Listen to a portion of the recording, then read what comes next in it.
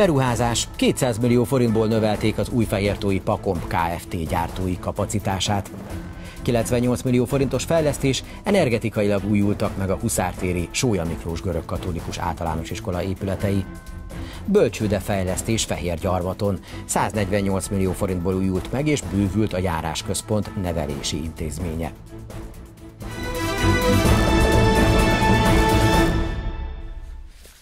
200 millió forintos kapacitásbővítő beruházás történt az újfehértói Pakomp Kft-nél.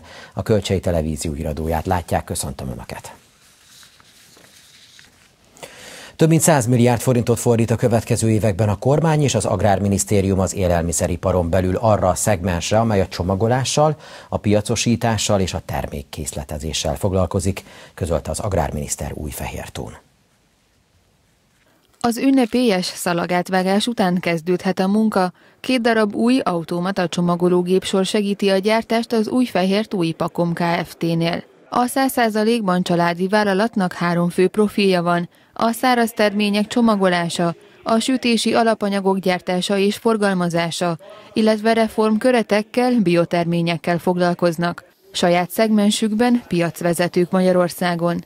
Az új gépeknek köszönhetően négyszeres kapacitást tudnak elérni a jövőben. A régi gépek egy perc alatt 21 zacskót készítettek, így egy műszakban 10.800-at. Az új gépek viszont percenként 80, műszakonként 40.800 darabot készítenek majd.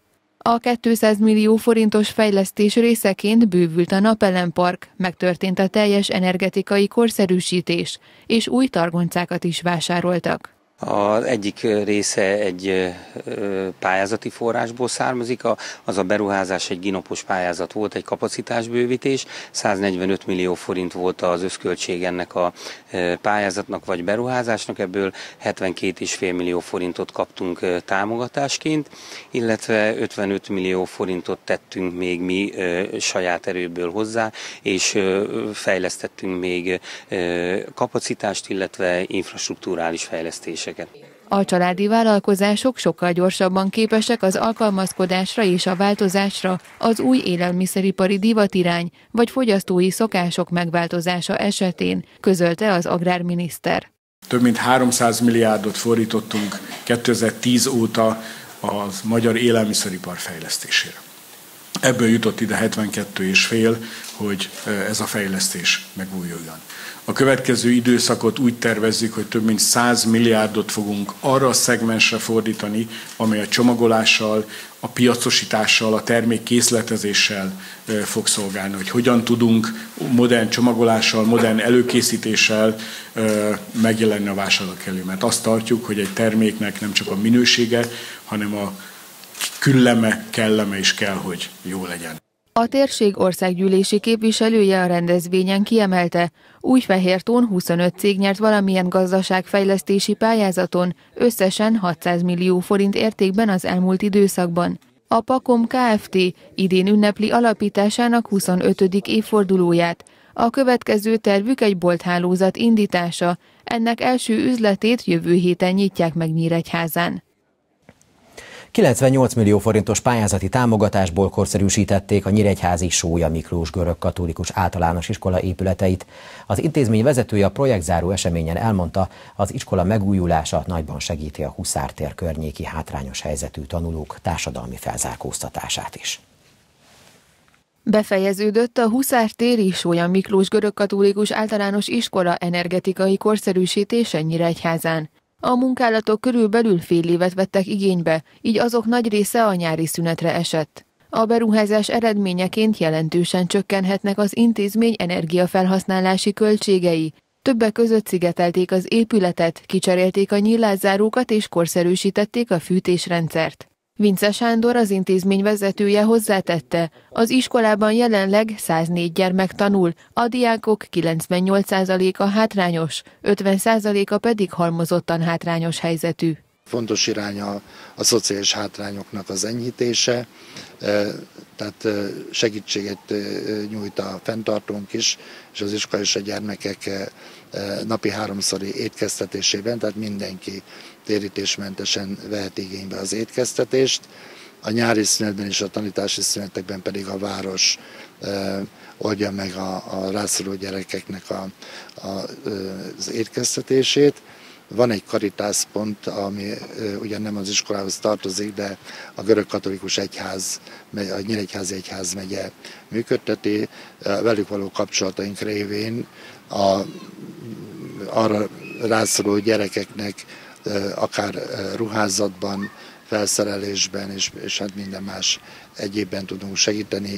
Kovács Ferenc Nyíregyháza polgármestere az eseményen kiemelte, a város számára fontos, hogy a társadalmilag elmaradott rétegek is jó körülmények között megfelelő oktatási színvonalon tanulhassanak, ezzel is elősegítve azt, hogy ezekből a tanulókból végül szakképzett, dolgozó emberek váljanak. Itt ráadásul a Huszár telepen működő görögkatolikus iskola különösen egyedi, nehéz helyzetben van, hiszen itt a, a gyerekek többsége az hátrányos vagy halmozottan hátrányos helyzetű, és én nagyon örülök annak, hogy a most már kilenc év eltelt mögöttünk van, amit a görög katolikus egyházzal együttműködve végeztünk, amikor a fenntartásokba adtuk az iskolát, és aztán az óvodát is. Nagyon fontos, hogy ez a tevékenység, amit itt végeznek, ez az iskola falain kívül is hat, itt a Puszártelepen élők számára. Ami az oktatási intézményeket illeti, a Sója Miklós Görög Katolikus Általános Iskola mellett 2019-ben további kettő, az Évisz és a Bem József Általános Iskola újult meg energetikailag.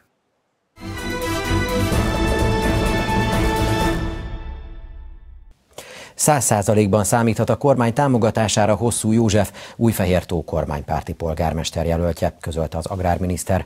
Hosszú József a jövőben a település gazdasági életének fejlesztésén dolgozna a Fidesz-KDNP segítségével. A járáshivatal vezetőként korábban a közigazgatás terén olyan tapasztalatokat szerzett, amely újfértó település előnyére tud válni hogy végig tudja menedzselni mindazon pályázatokat, amelyek elnyerésre kerülnek, hogy fölméri azokat az igényeket, amelyekre itt a településnek szüksége van, hogy lendületet, irányt tudjon adni a fejlődésnek, ehhez tapasztalt szakemberre van szükség. És ő nem egy település életét láthatta már a korábbi tevékenysége során, hanem egész járásét. Ezért is gondoljuk azt, hogy mindaz a tapasztalat, amit ott megszerzett, új férton kamatoztathatóvá tud válni. A város jövőjéről szavazhatnak vasárnap a nyíregyháziak. Ez Kovács Ferenc, a megyeszékhely polgármestere mondta a Fidesz-KDNP kampányzáró sajtótájékoztatóján.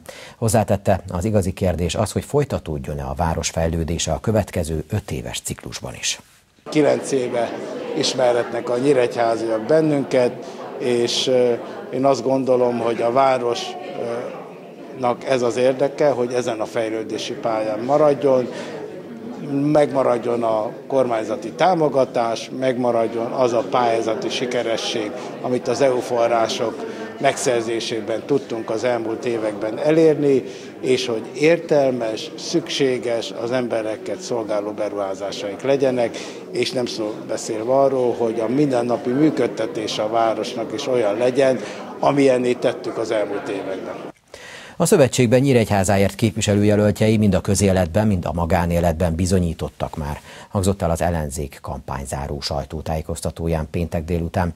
Jeszenszki András kiemelte, a szövetség tagjaiban közös a fiatalos lendület, a környezetvédelem iránti elköteleződés, és hogy elítélik a korrupciót ezeket a programpontokat próbáltuk minél hatékonyabban eljuttatni a városlakókhoz, kiadványok, illetve lakossági találkozók, utcafórumok, lakossági fórumok formájában nagyon hosszú és nagyon kemény időszakon vagyunk túl, és bízunk abban, hogy elnyeri a választók bizalmát ez a program, hiszen mindenre kiterjedő, nagyon részletes programot állítottunk össze azokkal a szakemberekkel, akik egyben egyébként az egyéni képviselőjelöltjeink is. A vasárnapi választás tétje nem más, mint az 1989-es rendszerváltás rehabilitálása, közölte Adorján Béla, a Jobbik lista vezetője pénteken, a Jobbik és a Momentum közös sajtótájékoztatóján. Az a helyzet, hogy a Fidesz-KDNP nem tudott felülemelkedni erkölcsileg és politikailag azon a ránehezedő terhen, ami a kétharmados többséget és az abszolút többséget a megyei önkormányzatokba, illetve a kis önkormányzatokba ráterhelte. Emberileg ők ezt nem tudták megoldani. Én úgy gondolom, hogy aki most elmegy szavazni, a tétje igazából az, hogy végre valahára jogilag is helyreállítja az 1989-es rendszerváltást, megteremti a több pártrendszert, megteremti a véleménykülönbségekbe rejlő szépséget és előremutatást.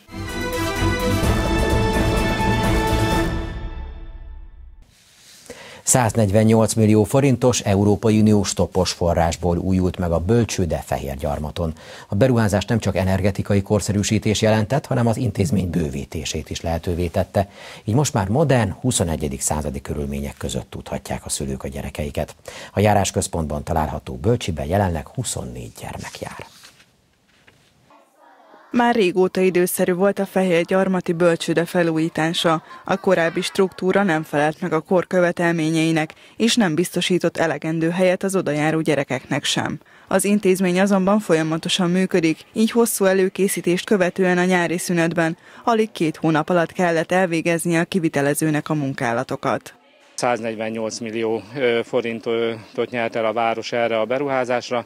Tulajdonképpen a teljes rekonstrukciós költséget, illetve eszközbeszerzés, butorzat és egyéb más eszközöknek a beszerzését tartalmazza. Amit tudni kell, hogy az épület nem csak megújult, hanem átalakításra is került, ugyanis a korábbi csoportszobák nem feleltek meg a jelenlegi előírásoknak, illetve nem voltak meg azok a kiegészítő helyiségek, amelyek szükséges a mostani szabályok szerint egy bölcsőde működéséhez. A megújult és kibővült bölcsődét jelenleg 24 gyermek használja. Ez nem csak a város számára jelentős fejlődés, hanem a térségnek is. Amikor a város polgármestere voltam, hogy egy-egy bölcsődei férőhely kialakításához a városnak közel egy millió forintot kellett hozzátenni, és akkor igen, komolyan gondolkodtunk arról, hogy esetleg bezárjuk a bölcsődét, a korábban is létezett bölcsődét. De hát egy város attól város, hogy a nehezebb időkben is fent tudja tartani a bölcsődőjét. Most pedig így azért sokkal könnyebb, hogy a magyar kormány kiemelten támogatja a bölcsődéket. Ugye a bölcsődének az az értelme, hogy a anyuka vagy éppen az apuka visszamehet dolgozni a gyermek három éves kora előtt, a bölcsődei rendszer egy olyan kihívás jelenleg, amelyre a kormány is igyekszik nagyobb figyelmet fordítani. 2010-hez képest a bölcsődei beruházásokra háromszor annyi forrás, összesen másfél milliárd forint áll rendelkezésre. 2020-ra pedig az egyéb támogatási konstrukciókkal ez az összeg 4,5 milliárd forintra nő majd. Így a korábbi 50 ezer bölcsödei férőhely 70 ezerre nőhet. Ezt már az építésügyért és infrastruktúrális környezetért felelős államtitkár emelte ki ünnepi beszédében. A népesedési kérdések mindig kiemelt figyelmet kapnak a kormánytól. Ugye a családtámogatási rendszerünk 2010 óta egy rendkívül dinamikus fejlődésen esett keresztül. A családtámogatások két és félszeresére növekedtek 2010 óta, ez Kelet-Közép-Európában is példaértékű, a GDP 4,6%-át jelentik, 2019-ben 2,3 milliárd forint áll a családtámogatási rendszer rendelkezésére, de ez természetesen számos egyéb intézkedés segíti. Így például a családvédelmi akcióterv, amely újabb támogatásokkal segíti a gyermekvállalást. Jelenleg a különböző komponensekből 36 ezeren részesültek már, tette hozzá az államtitkár. Hajrájához érkezett a Nyíregyházi úszoda építése, csütörtök este elkezdődött a medencék feltöltése és a vízgépészeti rendszerek tesztelése. A hamarosan kezdődő egy hónapos tesztüzemet követően vehetik majd birtokba a létesítményt a sportolók és a városlakók. Kevesebb, mint egy évvel ezelőtt tették le Nyíregyházi úszod alapkövét, csütörtök este pedig megkezdődött a medencék feltöltése. A 3 milliárd forintos beruházás 70%-ban taus forrásból valósul meg, a 750 millió forintos önerőt pedig a kormány biztosította. A 4500 négyzetméteres létesítmény egy verseny és egy tanmedencével, valamint 250 férőhelyes nézőterével és a kiszolgáló helyiségeivel megfelel a nemzetközi elvárásoknak is. Itt a belvárosban, az aréna mellett, könnyen megközelíthető helyen egy ilyen modern, legmodernebb gépészettel, mindenféle technológiával rendelkező úszodánk lesz, és ez a versenysport mellett az utánpótlás, nevelés, de itt a tanmedencében, 25 méteresben a gyerekek úszásoktatása is nagyon jó megvalósítható, és a szabadidős sportnak is ad majd teret. Úgyhogy nagyon-nagyon örülök, mert ezzel egy újabb nagy lépést tettünk előre. a sportinfrastruktúra fejlesztésben. A sportért felelős államtitkár kiemelte, az egészségmegőrzés érdekében nagyon fontos, hogy minden korosztály számára biztosítani tudjanak mozgási lehetőséget. Ha a gyermekek sportosak, akkor a család is az lesz, és a szülők is, anyukák, apukák és az idősebb korosztály is sportosabb lesz. Ehhez kell olyan szolgáltatás, olyan létesítmény, amelyet ténylegesen ki tudjuk szolgálni, és meg tudjuk teremteni azt a lehetőséget, hogy bármilyen sportágat tudjanak választani a gyerekek.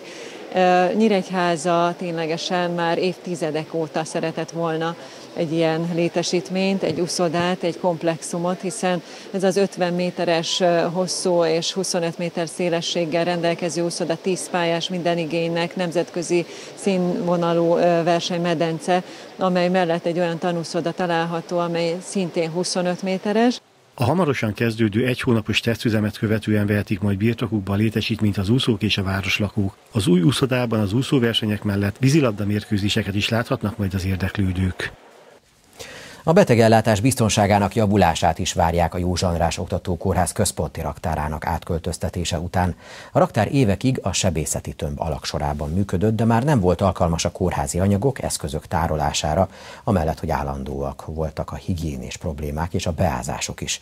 A raktár új helye a gyermekosztály és a könyvtár régi épülete, a költözéssel pedig a dolgozók munkakörülményeinek és feltételeinek javulásán túl logisztikai fejlesztésekre is lehetőség nyílt. A környezettudatosság jegyében elektromos vontatót is beszereztek, valamint egy másik fejlesztés is elindult a raktárban vonalkódos, hogy mondjam, raktár raktározást vezettünk be. Szeretnénk azt megvalósítani, hogy a beszállítótól egész a betegig tudjuk ezt nyomon követni, tehát az osztályokon is vonalkóddal tudjuk az anyagoknak az ellenőrzését elvégezni. Ezt nagyon sokszor nem látják az emberek, akik csak a, fehér ágyat látják, és a, és a, a, a közvetlen betegellátás, hogy micsoda hihetetlen logisztikai munka van emögött, hogy oda kerüljön egy, egy, egy gyógyszer, oda kerüljön egy, egy tiszta törölköző, vagy egy tiszta ágyú, vagy egy műtő, műtőbe, egy műtő eszköz, tehát ehhez mindhez mind ezt szükségeltetik.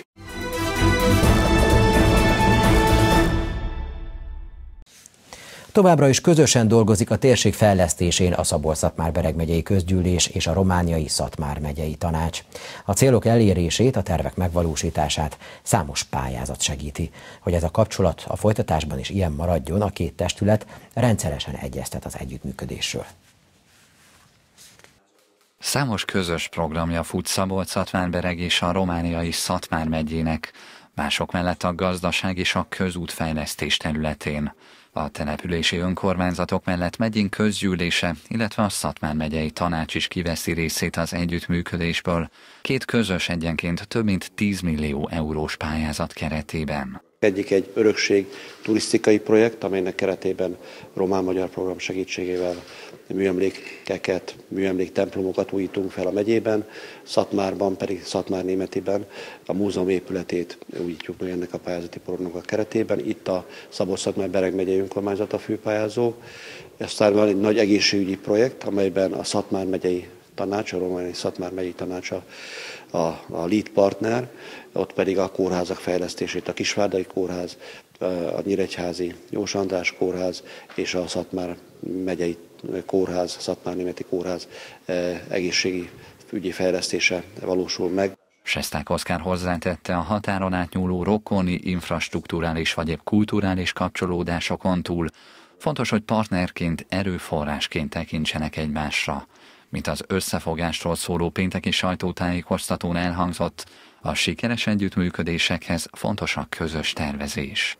Közösen pályáztunk most pont egy olyan a négy országosban, hogy Kárpátalja, Szatmár megye, Szabolcs-Szatmár Bereg megyében a, az, a közlekedési mobilitásról készül majd egy átfogó tanulmány, és akkor látszik majd, hogy hogy lehet még jobban összefűzni ezeket a jelenleg még néha hátrányos helyzetű térségeket ahhoz, hogy gazdasági lendületet is kapjanak. És szerintem mindketten azt akarjuk, és ezt elnök úrral is, hogy élhetőbb, infrastruktúrálisan beruházók szempontjából vonzóbb térséget teremtsünk, hogy a, a fiataljaink maradjanak itthon, és ne máshonnan jövő fiataljainkkal töltődjenek fel ezek a csodaszép tájak. A két testület képviselői legközelebb novemberben találkoznak egymással. hogy megvitassák, miben tudnak partnerek lenni a következő években. Közös céljuk továbbra is a térség fejlesztése marad.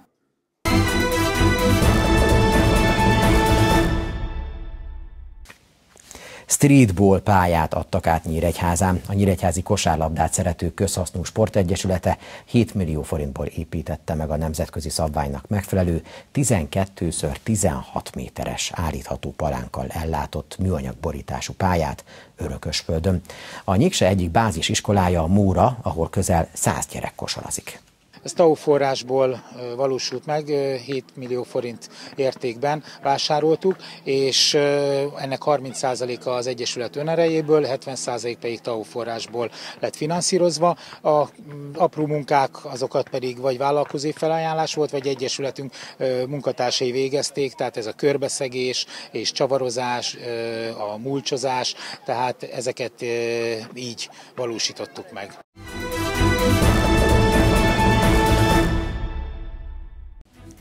Önök a Kölcsé Televízió híradóját látták október 11-én pénteken. Friss hírekkel legközelebb hétfőn várjuk majd Önöket, szombat este pedig heti hír összefoglalókkal jelentkezünk. Tudósításainkat addig is internetes oldalunkon visszanézhetik. Én munkatársak nevében is köszönöm figyelmüket, viszontlátásra!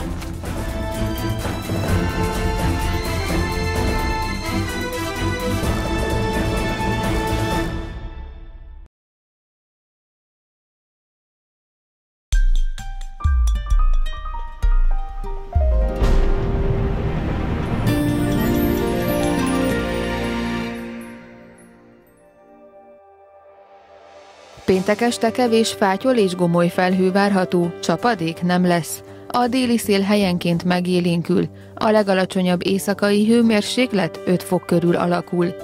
Szombaton napos idő várható, kevés fátyol felhővel, csapadék nem lesz. A déli szél helyenként megélénkül, a legmagasabb nappali hőmérséklet 20 fok körül alakul.